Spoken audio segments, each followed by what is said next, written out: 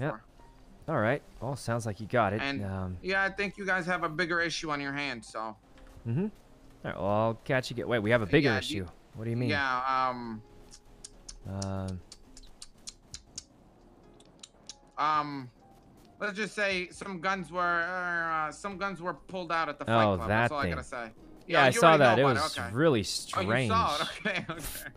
So Yeah, apparently weird, they, so- uh, this is what I was told. They baited Mr. Lang into standing in the middle of the ring for them to diss him, Yeah. and then obviously a lot of people didn't like that, and then they beat up the people who tried to stand up for him. Yeah, and then like a whole bunch of shit happened with the cops. Yeah, and I- blah blah blah, whatever. Yeah, I'm not really sure. Um, I'm Not really sure what's way happening, man. It- With the way Buja has talked to me, they were they're not gonna, you know,